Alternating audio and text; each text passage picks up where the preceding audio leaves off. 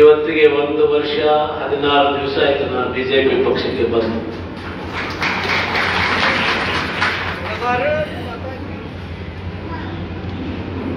ಕಳೆದ ವರ್ಷ ಈ ಟೈಮಲ್ಲಿ ನಾವೆಲ್ಲ ಚುನಾವಣೆ ಬರದಲ್ಲಿದ್ವಿ.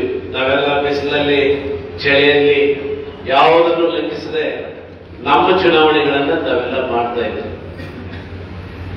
ಎಂ ಎಲ್ ಎ ಚುನಾವಣೆಯನ್ನ ಕಾರ್ಯಕರ್ತರು ಮಾಡ್ತಾರೆ, ಜಿಲ್ಲಾ ಪಂಚಾಯತ್ ಸದಸ್ಯ ಚುನಾವಣೆಯನ್ನು ಮಾಡ್ತಾರೆ, ಲೋಕಸಭೆ ಸದಸ್ಯರ ಚುನಾವಣೆಯನ್ನು ಮಾಡ್ತಾರೆ, ಆದ್ರೆ ಕಾರ್ಯಕರ್ತರ ಚುನಾವಣೆಯನ್ನ ಯಾರು ಮಾಡ್ತಾ ಇರಲಿಲ್ಲ.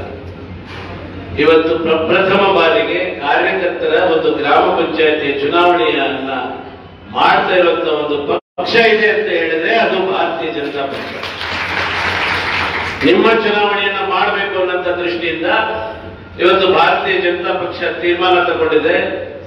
ಪ್ರತಿ ಕರ್ನಾಟಕ ರಾಜ್ಯದಲ್ಲಿ ಆರು ಭಾಗಗಳನ್ನಾಗಿ, ಆರು ಗುಂಪುಗಳನ್ನಾಗಿ ವಿಂಗಡಿಸಿ ಸದಸ್ಯರು, ಸಂಸತ್ ಸದಸ್ಯರು, ಶಾಸಕರು, ಸಚಿವರುಗಳ ಒಂದೊಂದು ತಂಡವನ್ನು ರಚನೆ ಮಾಡಿ ಈ ಪ್ರತಿಯೊಂದು ವಿಭಾಗದಲ್ಲಿ ಕೂಡ ಪ್ರತಿಯೊಂದು ಜಿಲ್ಲೆಯಲ್ಲಿ ಹೋಗಿ ಗ್ರಾಮ ಪಂಚಾಯಿತಿ ನಮ್ಮ ಕಾರ್ಯಕರ್ತರನ್ನ ಕರೆದು ಅವರಿಗೆ ಉತ್ತೇಜನ ಕೊಡುವಂಥದ್ದು ಅವರಿಗೆ ಚುನಾವಣೆಯನ್ನ ಎದುರಿಸಲಿಕ್ಕೆ ಒಂದು ಶಕ್ತಿಯನ್ನು ನೀಡುವಂತ ಕೆಲಸವನ್ನು ಮಾಡಬೇಕು ಅಂತ ಹೇಳಿ ಇವತ್ತು ಭಾರತೀಯ ಜನತಾ ಪಕ್ಷ ಈ ಕಾರ್ಯಕ್ರಮಗಳನ್ನು ಹಾಕೊಂಡಿದ್ದು ನಿನ್ನೆ ದಿವಸ ನಾನು ಗದಗ ಜಿಲ್ಲೆ ಮತ್ತು ಧಾರವಾಡ ಕೂಡ ಹೋಗಿದ್ರಿ. ಇವತ್ತು ರಾಣೆಬೆನ್ನೂರು ಹಾಗೂ ಬ್ಯಾಡಗಿ ಹಿರೇಕೆರೂರು ರಟ್ಟಿಹಳ್ಳಿ ತಾಲೂಕಿನ ಈ ನಾಲ್ಕು ತಾಲೂಕುಗಳ ಕಾರ್ಯಕರ್ತರ ಮತ್ತು ನಮ್ಮ ಪಕ್ಷದ ಮುಖಂಡರ ಸಭೆಯನ್ನು ನಾವು ಇವತ್ತು ಕರೆದಿದ್ದೇವೆ. ಇವತ್ತು ಗ್ರಾಮ ಪಂಚಾಯತಿ ಬಹಳ ಪವರ್ಫುಲ್ ಆಗಿದೆ. ಬಹುತೇಕ ಯಾರು ತಾಲೂಕ್ ಪಂಚಾಯತಿಗೆ ಮುಂದಿನ ಸರಿ ಕ್ಯಾಂಡಿಡೇಟ್ ಸಿಗ್ತಾರಿಲ್ಲ ಗೊತ್ತಿಲ್ಲ. ಆದ್ರೆ ಗ್ರಾಮ ಪಂಚಾಯತಿಗೆ ಯಾವ ರೀತಿ ಚುನಾವಣೆ ಆಗ್ತದೆ ಅನ್ನೋಂಥದ್ದು ಬಹಳ ಕುತೂಹಲ ಕೆರಳಿಸಿದ್ದದ್ದು ಯಾಕೆಂದ್ರೆ ಅಷ್ಟು ಅಧಿಕಾರವನ್ನು ಇವತ್ತು ನಮ್ಮ ಕೇಂದ್ರ ಸರ್ಕಾರ, ರಾಜ್ಯ ಸರ್ಕಾರ ಗ್ರಾಮ ಪಂಚಾಯತಿಗಳಿಗೆ ಕೊಟ್ಟಿದೆ. ಮನೆಯನ್ನ ಕೊಡುವಂಥದ್ದು ಇರ್ಬೋದು, ಫಲಾನುಭವಿಗಳನ್ನು ಆಯ್ಕೆ ಮಾಡುವಂಥದ್ದು, ನಿಮ್ಮ, ನಮ್ಮ ಗ್ರಾಮ, ನಮ್ಮ ಹೊಲ, ನಮ್ಮ ರಸ್ತೆ, ನೀರಾವರಿ ಕಾಮಗಳು ಚೆಕ್ ಡ್ಯಾಮ್ಗಳು ಫಲಾನುಭವಿಗಳ ಆಯ್ಕೆ, ಮನೆಗಳ ಆಯ್ಕೆ, ಈ ಎಲ್ಲ ಕಾರ್ಯಕ್ರಮಗಳನ್ನು ಆಯ್ಕೆ ಮಾಡುವಂತ ಶಕ್ತಿ ಗ್ರಾಮ ಪಂಚಾಯತಿ ಸದಸ್ಯರಿಗೆ ಇವತ್ತು ಸರ್ಕಾರ ಕೊಟ್ಟಿದೆ. ಅಧಿಕಾರ ವಿಕೇಂದ್ರೀಕರಣ. ಇವತ್ತು ನಮಗೆ, ನಾನು ಒಬ್ಬ ಮಂತ್ರಿಯಾಗಿ, ನನಗೆ ಯಾವುದೇ ಚೆಕ್ ಅನ್ನ ಸೈನ್ ಮಾಡೋ ಅಧಿಕಾರ ಇಲ್ಲ. ಆದ್ರೆ ಗ್ರಾಮ ಪಂಚಾಯತಿ ಅಧ್ಯಕ್ಷ ಚೆಕ್ ಚೆಕ್ ಅನ್ನ ಸೈನ್ ಮಾಡುವಂತ ಅಧಿಕಾರ ಇದೆ. ಅಂದ್ರೆ ಎಷ್ಟು ಪವರ್ಫುಲ್ ಆಗಿದೆ. ಗ್ರಾಮ ರಾಜ್ಯ, ಗ್ರಾಮ ರಾಜ್ಯದ ಕನಸನ್ನ ಕಂಡಂತವರು ಮಹಾತ್ಮ ಗಾಂಧೀಜಿ ಅವರು ಗ್ರಾಮ ರಾಜ್ಯ ಆಗ್ಬೇಕು, ಗ್ರಾಮ ರಾಜ್ಯ ರಾಮರಾಜ್ಯ ಆಗ್ಬೇಕು ಅಂತ ಕನಸು ಕಂಡಂತ ಗಾಂಧೀಜಿಯವರ ಕನಸನ್ನ ನನಸು ಮಾಡುವಂತ ಕೆಲಸ ಇವತ್ತು ಪ್ರಾರಂಭ ಆಗಿದೆ. ಅದಕ್ಕೆ ಈ ಚುನಾವಣೆಗೆ ನಾವು ಈಗಾಗಲೇ ತಯಾರಾಗಿದೆ, ನಮಗೆಲ್ಲ ಗೊತ್ತಿದೆ. ಇವತ್ತು ತಾನೇ ಬಹಳ ಸಂತೋಷದ ವಿಷಯ ಅಂತ ಹೇಳಿದ್ರೆ, ಈಗ ನಾವು ಹಿರೇಕೇರೂರನ್ನ ಹಿರೇಕೆರೂರಿನಲ್ಲಿ ಈ ಸಮಾವೇಶ ಮಾಡುವಂತ ಸಂದರ್ಭದಲ್ಲಿ ಚುನಾವಣಾ ಆಯೋಗ ರಣಕಹಳೆಯನ್ನ ಓದಿದೆ.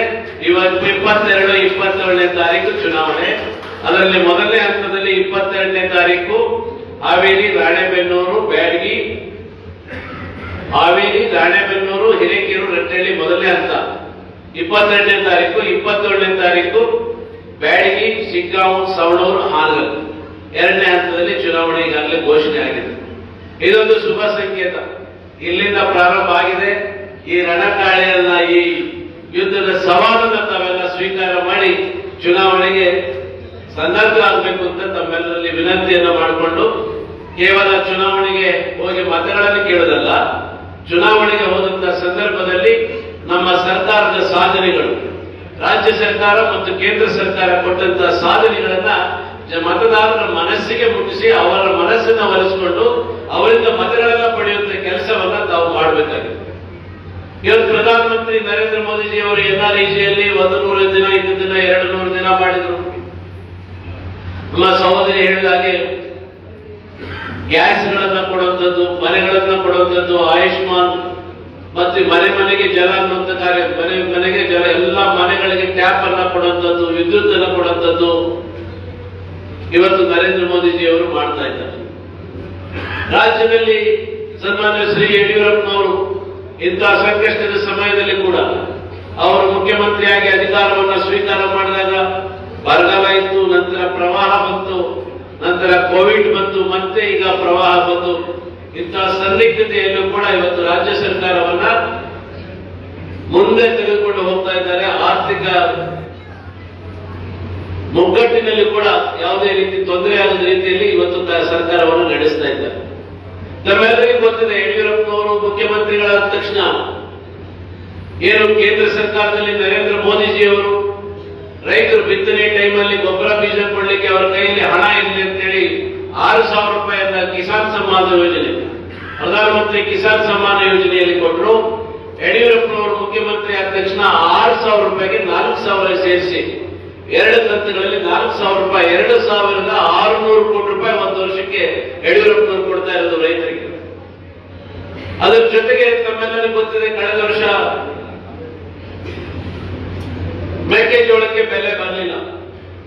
ಅಂತ ಸಂದರ್ಭದಲ್ಲಿ ನಾವು ನಮ್ಮ ಗೃಹ ಸಚಿವರಾದಂತಹ ಬೊಮ್ಮಾಯಿ ಅವರು, ಅವರ ಒತ್ತಡ, ಸಹೋದರಿ ಶಶಿಕಲಾ ಜೊಲ್ಲೆಯವರ ಒತ್ತಡ ಮತ್ತು ಮಂತ್ರಿಮಂಡಲದ ಸದಸ್ಯರ ಒತ್ತಡದಿಂದ ಯಡಿಯೂರಪ್ಪನವರು ಒಂದು ದಿಟ್ಟ ಕ್ರಮವನ್ನ ತಗೊಂಡ್ರು ಯಾರು ಮೆಕ್ಕೆಜೋಳವನ್ನ ಬೆಳೆದಿದ್ದಾರೆ ಅಂತ ಹತ್ತು ಲಕ್ಷ ರೈತರಿಗೆ ಪ್ರತಿಯೊಬ್ಬ ರೈತನಿಗೆ ಐದು ಸಾವಿರದಂತೆ ಐದುನೂರು ಕೋಟಿ ರೂಪಾಯಿಗಳನ್ನ ಕೊಡುವಂತ ಕೆಲಸವನ್ನ ಮುಖ್ಯಮಂತ್ರಿಗಳು ಮಾಡಿದ್ರು ಈ ಹಣವನ್ನ ಯಾರದೇ ಮೂಲಕ ಕೊಟ್ಟಿಲ್ಲ, ಯಾವುದೇ ಆಫೀಸರ್ಗಳ ಮೂಲಕ ಕೊಟ್ಟಿಲ್ಲ ಅಧಿಕಾರಿಗಳ ಮನೆ ಬಾಗಿಲಿಗೆ ಹೋಗಿ ನೀವು ಭಿಕ್ಷೆ ಬೇಡೋದು ಬೇಕಾಗಿಲ್ಲ ನಿಮ್ಮ ಅಕೌಂಟ್ಗೆ ನಿಮ್ಮ ಅಕೌಂಟ್ಗೆ ಯಾವುದೇ ಒಂದು ಪೈಸೆ ಕಡಿಮೆ ಆಗದ ರೀತಿಯಲ್ಲಿ ಇವತ್ತು ಹಣ ಸಂದಾಯ ಆಗಿದೆ.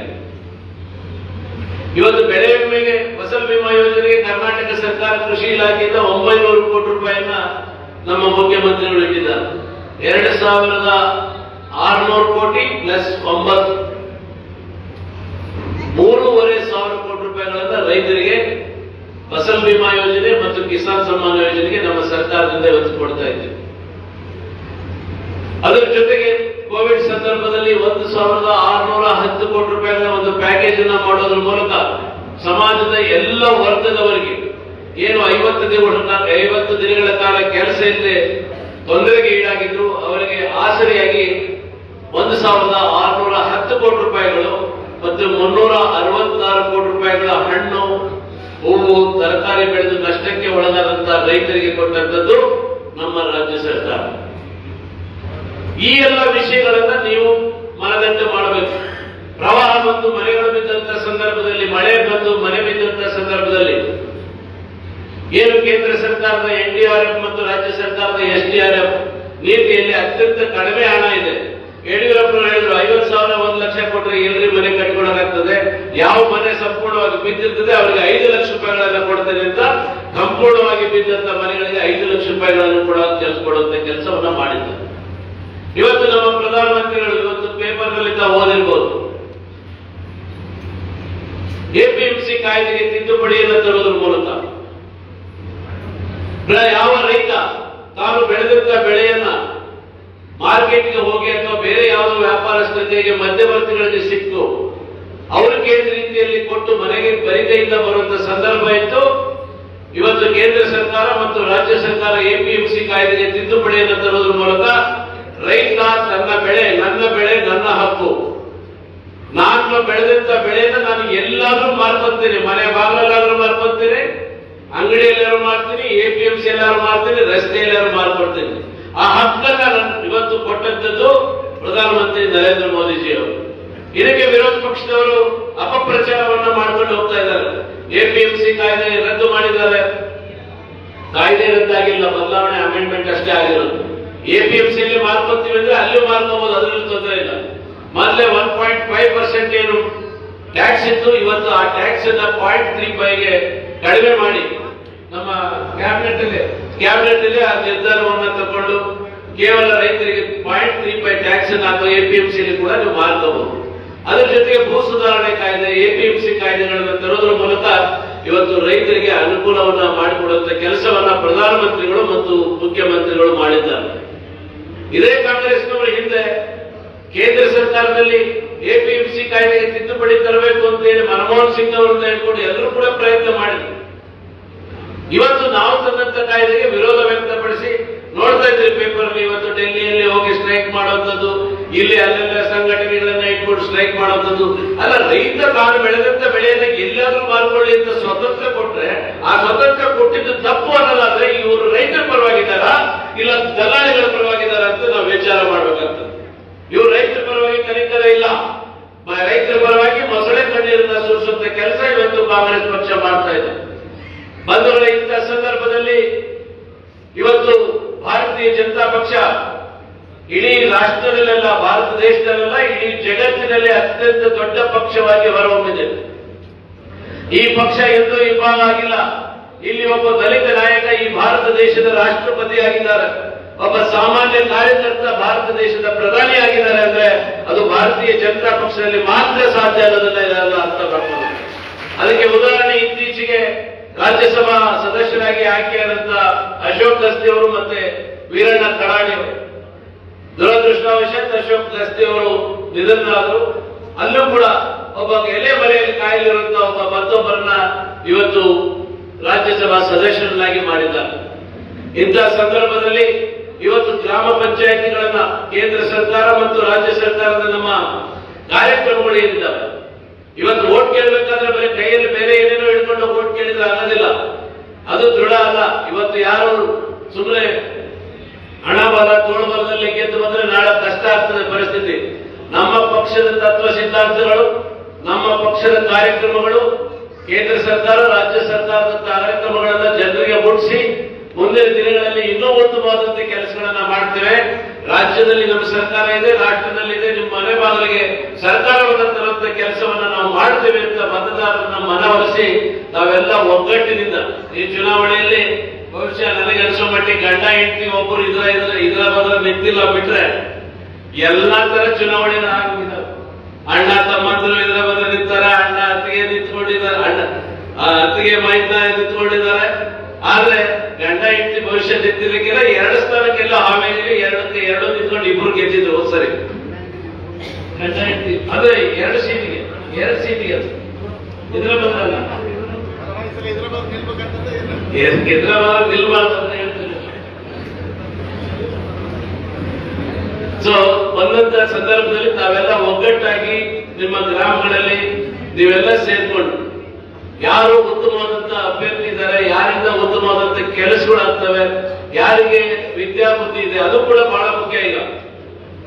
ಇಷ್ಟೊಂದು ಕಾರ್ಯಕ್ರಮಗಳು ಬರಬೇಕಾದ್ರೆ ನಾವು ಗ್ರಾಮ ಪಂಚಾಯತಿ ಕಾಯ್ದೆಯನ್ನ ಓದದೆ ಇವತ್ತು ಅದನ್ನ ಏನು ಅರ್ಥನೆ ಮಾಡ್ಕೊಳ್ಳದೆ ಬರೀ ಸುಮ್ಮನೆ ಗ್ರಾಮ ಪಂಚಾಯತಿಯಲ್ಲಿ ಹೋಗಿ ಕುತ್ಕೊಂಡು ಬಂದ್ರೆ ಆಗಲ್ಲ. ಇವತ್ತು ಬಹಳಷ್ಟು ಸಹೋದರಿಯರಿಗೆ ಇವತ್ತು ಐವತ್ತು ಪರ್ಸೆಂಟ್ ರಿಸರ್ವೇಶನ್ ಇದೆ. ಮೊನ್ನೆ ಒಬ್ಬರು ಬಂದಿದ್ರು ಬಳ್ಳಾರಿಯಲ್ಲಿ. ಹೊಸಪೇಟೆಯಲ್ಲಿ ಒಬ್ಬರು ಬಂದಿದ್ರು. ಅವ್ರು ಬಂದು ನಂತರ ಪರಿಚಯ ಮಾಡಿಕೊಂಡ್ರು, ನಾನು ಜಿಲ್ಲಾ ಪಂಚಾಯತ್ ಸದಸ್ಯ ಅಲ್ಲ. ಏನ್ ನಿಮ್ಮ ಹೆಸರು ಅಂದ್ರೆ? ಸುಕನ್ಯಾ ಅವಿನಾಶ್. ಸುಕನ್ಯಾ ಅವಿನಾಶ್ ಅಂತ ಇರ್ತದ? ಗೊತ್ತಾಗಿಲ್ಲ ಅವ್ರ ಏಟ್ಟಿ ಮೆಂಬರ್ ಸುಕನ್ಯಾ, ಅವ್ರ ಗಂಡ ಅವಿನಾಶ್, ಇವ್ರು ಹೇಳ್ಕೊಂತಾನೆ ನಾನು ಗ್ರಾಮ ಪಂಚಾಯತ್ ಸದಸ್ಯ ಸುಕನ್ಯಾ ಅವಿನಾಶ್ ಅಂತ. ಆ ಪರಿಸ್ಥಿತಿ ಆಗಬಾರ್ದು ಹಾವೇರಿ ಇಲ್ಲ ನೋಡಿದ್ದೆ ನಾನು. ಮೊದಲು ಶಾಸಕರಿಗೆ ಹೋದಾಗ ಹೊರಗಡೆ ನಿಂತ್ಕೊಂಡಿದ್ರು, ನಮಸ್ಕಾರ ನಮಸ್ಕಾರ. ಏನಪ್ಪ ಅಂದ್ರೆ, ನಾನು ಜಿಲ್ಲಾ ಪಂಚಾಯತ್ ಸದಸ್ಯ ಮತ್ತೆ ನನಗೆ ಒಳಗೆ ಮೀಟಿಂಗ್ ಅಂದ್ರೆ ಎಲ್ರಿ ನಮ್ಮ ಮನೆಯವರು ಅದಾರ ಒಳಗೆ. ಇವರೇ ಗ್ರಾಮ ಪಂಚಾಯತಿ ಸದಸ್ಯರಾಗ್ಬಿಡ್ತಾರೆ ಇವರೇ ತಾಲೂಕ್ ಪಂಚಾಯತ್ ಸದಸ್ಯರಾಗ್ಬಿಡ್ತಾರೆ, ಇವರೇ ಜಿಲ್ಲಾ ಪಂಚಾಯತ್ ಸದಸ್ಯರಾಗ್ತಾರೆ. ಅದು ಆಗಬಾರ್ದು ತೊಟ್ಟಿಲ ತೂಗುವಂತ ಕೈ ದೇಶವನ್ನ ಆಳಿದೆ. ಇವತ್ತು ಅವರು ವಿದ್ಯಾವಂತರಿದ್ದಾರೆ, ಬುದ್ಧಿವಂತರಿದ್ದಾರೆ. ಅದಕ್ಕೆ ನೀವೆಲ್ಲ ಆ ಕಾಯ್ದೆ ಕಾನೂನುಗಳನ್ನ ಓದ್ಕೊಂಡು, ಇವತ್ತು ಬಹಳಷ್ಟು ಜನ ಕರ್ಕೊಂಡು ಬಂದಿಲ್ಲ. ನಿಮ್ಮ ಮನೆಯವ್ರಿಗೆ ಎಲ್ಲೆಲ್ಲ ಹೆಣ್ಮಕ್ಳು ರಿಸರ್ವೇಶನ್ ಆಗಿದೆ, ಅವ್ರಿಗೆ ಯಾರು ಕರ್ಕೊಂಡ್ ಬಂದಿಲ್ಲ? ಇಲ್ಲ, ಕರ್ಕೊಂಡ್ ಬಂದಿಲ್ಲ. ಅಲ್ವಾ? ಓದ್ಮೇಲೆ ಹೇಳ್ತೀರಲ್ಲ ಇಲ್ಲಿ. ಅವರು ಕರ್ಕೊಂಡು ಬರ್ಬೇಕು, ಅವ್ರಿಗೆ ಗೊತ್ತಾಗಬೇಕಲ್ಲ, ನಮ್ಮ ಪಕ್ಷದ ನಾಯಕರು, ನಮ್ಮ ಪಕ್ಷದ ಕಾರ್ಯಕ್ರಮಗಳು ಏನಿದ್ದಾವೆ ಅಂತ. ಅದನ್ನ ಮುಂದಿನ ದಿನಗಳಲ್ಲಿ ನೀವೆಲ್ಲ ಗೆದ್ದು ಬಂದ ಮೇಲೆ ಭಾರತೀಯ ಜನತಾ ಪಕ್ಷದ ಜೆಂಡಾವನ್ನ ಎಲ್ಲ ರಾಜ್ಯದಲ್ಲಿ ಇವತ್ತು ಹೇಳ್ತಾ ಇದ್ರು ಮೊನ್ನೆ ಸಿ ಸಿ ಪಾಟೀಲ್ ಹಾವೇರಿ ಇದ್ದರು ಗದಗ ಜಿಲ್ಲೆಯಲ್ಲಿ ಒಂದು ಸ್ಥಾನ ಬಿಟ್ಟರೆ ಎಲ್ಲವೂ ಬಿಜೆಪಿ ಮಯ ಆಗಿದೆ. ಮುಂದಿನ ದಿನಗಳಲ್ಲಿ ನಾವು ಕಾಂಗ್ರೆಸ್ ಮುಕ್ತ ಮಾಡ್ತೀವಿ ಅಂತ ಹಾವೇರಿ ಜಿಲ್ಲೆಯಲ್ಲಿ ಈಗಾಗಲೇ ಕಾಂಗ್ರೆಸ್ ಮುಕ್ತ ಆಗೋಗಿದೆ. ನಾನು ಒಬ್ಬ ಉಳ್ಕೊಂಡಿದ್ದೆ. ನಾನು ಒಬ್ಬ ಉಳ್ಕೊಂಡಿದ್ದೆ, ನಾನು ಈ ಕಡೆ ಬಂದ್ಮೇಲೆ ಇವತ್ತು ಹಾವೇರಿ ಜಿಲ್ಲೆ ಸಂಪೂರ್ಣ ಕಾಂಗ್ರೆಸ್ ಮುಕ್ತ ಆಗಿದೆ. ಅದೇ ರೀತಿ ಗ್ರಾಮ ಪಂಚಾಯತಿಗಳಲ್ಲಿ ಬರಬೇಕು. ಗ್ರಾಮ ಪಂಚಾಯತಿಗಳಲ್ಲಿ ನಮ್ಮವರು ಆಡಳಿತ ಚುಕ್ಕಾಣಿ ಇಡಬೇಕು ಆಗ ನೀವು ಕೇಳಬೇಕು ನೀವೇನಾದ್ರು ಕೇಳಿದ್ರೆ ನಮಗೂ ಕೂಡ ಕೆಲಸ ಮಾಡಿದ್ರೆ ನಾವು ಏನಾದ್ರು ಮಂಜೂರಾತಿ ಕೊಟ್ಟರೆ ನೇರವಾಗಿ ಫಲಾನುಭವಿಗಳಿಗೆ ಹೋಗ್ತದೆ. ಆ ನಿಟ್ಟಿನಲ್ಲಿ ಕೇಂದ್ರ ಸರ್ಕಾರ, ರಾಜ್ಯ ಸರ್ಕಾರ, ಗ್ರಾಮ ಪಂಚಾಯತಿ ಗ್ರಾಮ ಪಂಚಾಯತಿ ಅಂತ ನನಗೆ ಹೇಳಲಿಕ್ಕೆ ಮನಸ್ಸು ಬರೋದಿಲ್ಲ ನಾನು ಹೇಳ್ತೀನಿ, ನಮ್ಮ ಬೊಮ್ಮಾಯಿ ಸಾಹೇಬರಲ್ಲಿ ಭವಿಷ್ಯ ಇದೆ ಗ್ರಾಮ ಸೌದಾಂತಿಕ ಅಂದ್ರೆ ಬಹಳ ಚೆನ್ನಾಗಿರ್ತದೆ. ಹೇಗೆ ವಿಧಾನಸೌಧ ಇದೆ, ಆ ರೀತಿ ಮುಂದಿನ ದಿನಗಳಲ್ಲಿ ಗ್ರಾಮ ಸೌಧ ಅಂತ ಕರೆದು ಅದಕ್ಕೆ ಗ್ರಾಮ ಪಂಚಾಯತಿ ಅನ್ನೋದಿಂದ ಗ್ರಾಮ ಸೌಧ ಅಂತ ಹೆಸರಿಟ್ಟರೆ ಬಹಳ ಸೂಕ್ತ ನಿಟ್ಟಿನಲ್ಲಿ ನಾವು ನೀವು ಸೇರಿ ಚರ್ಚೆ ಮಾಡೋಣ ಅನ್ನೋಂಥ ಮಾತನ್ನು ಕೂಡ ಹೇಳ್ತಾ ಇವತ್ತಿನ ಈ ಸಂದರ್ಭದಲ್ಲಿ ತಾವು ಬ್ಯಾಡಗಿ ಮತ್ತೆ ರಾಣೆಬೆನ್ನೂರಿನಲ್ಲೂ ಕೂಡ ತಾವು ಬಂದಿದ್ದೀರಿ. ಇಪ್ಪತ್ತೆರಡನೇ ತಾರೀಕು ಹಾವೇರಿ ಮತ್ತು ರಾಣೆಬೆನ್ನೂರು ನಮ್ಮ ತಾಲೂಕಿನ ವಿಧಾನಸಭಾ ಕ್ಷೇತ್ರದಲ್ಲಿ ಚುನಾವಣೆ ಇದೆ. ಈ ಚುನಾವಣೆಗೆ ತಾವೆಲ್ಲ ಅತಿ ಹೆಚ್ಚಿನ ಸಂಖ್ಯೆಯಲ್ಲಿ ಭಾರತೀಯ ಜನತಾ ಪಕ್ಷದ ಅಭ್ಯರ್ಥಿಗಳನ್ನ ಪಕ್ಷದ ಚಿಹ್ನೆ ಇಲ್ಲದೇ ಇದ್ರೂ ಕೂಡ ತಮ್ಮೆಲ್ಲರೂ ಗೊತ್ತಿದೆ ಪಂಗಡ ಪಾರ್ಟಿ ಇದ್ದೇ ಇರ್ತದೆ. ಅಭ್ಯರ್ಥಿಗಳನ್ನ ಒಮ್ಮತದಿಂದ ಆಯ್ಕೆ ಮಾಡಿಕೊಂಡು ಚುನಾವಣೆಯಲ್ಲಿ ಗೆಲ್ಲಿಸ್ಕೊಂಡು ಬರಬೇಕು ಅಂತೇಳಿ ತಮ್ಮೆಲ್ಲರಲ್ಲಿ ವಿನಂತಿಯನ್ನ ಮಾಡಿಕೊಂಡು ಇವತ್ತಿನ ಈ ಸಂದರ್ಭದಲ್ಲಿ ಅವಕಾಶ ಸಿಕ್ಕಿದ್ದಕ್ಕಾಗಿ ತಮ್ಮೆಲ್ಲರಿಗೂ ವಂದಿಸಿ ನನ್ನ ನಾಲ್ಕು ಮಾತು ಮುಗಿಸ್ತೇನೆ. ಜೈ ಹಿಂದ್, ಜೈ Kisan. If you like this video ಬೇಗ ಲೈಕ್ ಮಾಡಿ ಕಾಮೆಂಟ್ ಮಾಡಿ ಶೇರ್ ಮಾಡಿ ಹಾಗೂ ಯೋಯೋ ಟಿವಿ ಕನ್ನಡವನ್ನು ಸಬ್ಸ್ಕ್ರೈಬ್ ಮಾಡಿ.